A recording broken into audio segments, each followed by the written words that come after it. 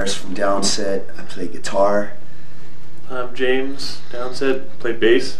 Chris, I play drums. And I'm Roy and Ray.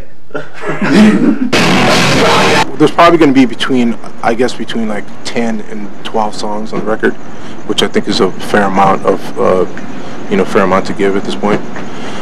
Um, the, I guess, the, I'll go over some of the titles. One of the titles is um, a song called, uh, one of my favorites is a song called Tear Us Apart.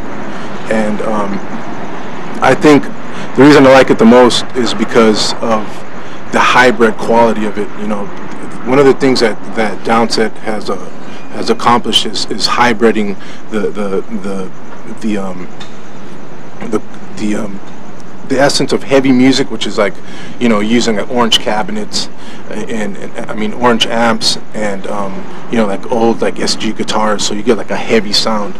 You know, and then Chris has got like he's really into like stuff like the roots and other like you know other like smooth like beats because he's from, like more from like the east. You know, so he has that quality.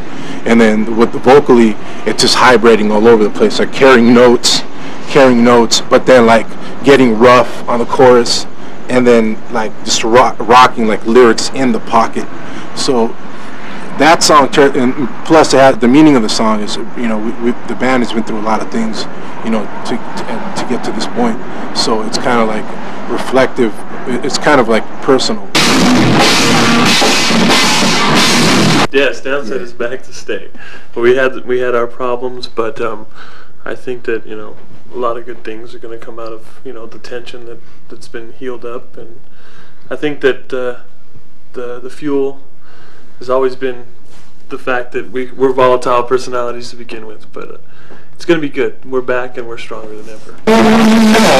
Another one of the songs that I really like is um, a song called "Coming Back," and basically it has the same. It has like the same type of hybrid quality, which is really important to me at this time because it's it's showing that the band is just not staying in one one like one like stale position. Like we'll keep on progressing, you know, with the with the with the with the in, intellectual essence of the, the, the, lyrics, but also the, the quality of the uh, the hybrid quality of the music.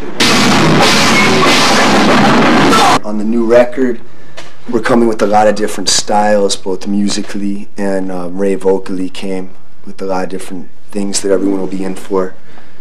Some singing this time, and um, I think it's really something that Downset fans are going to dig on. You know, it's probably the heaviest album we've ever had, and uh, some cool tunings, and just a lot of. We've expanded from. We've just grown over the years from just being a hardcore band into becoming what this album is now, and something really cool to trip out on.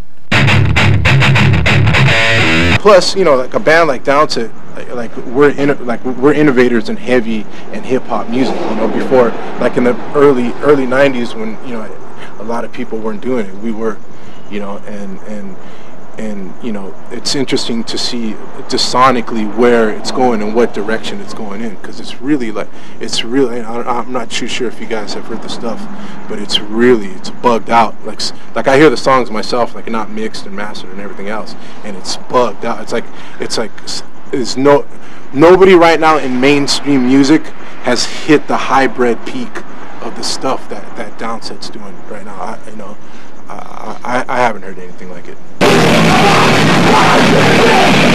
Yeah, I joined the band uh, about a year ago, and uh, where you from? tell them where you from. I'm from Philly, and uh, it's going great. The songs are the shit. it's awesome to get to play with these folks.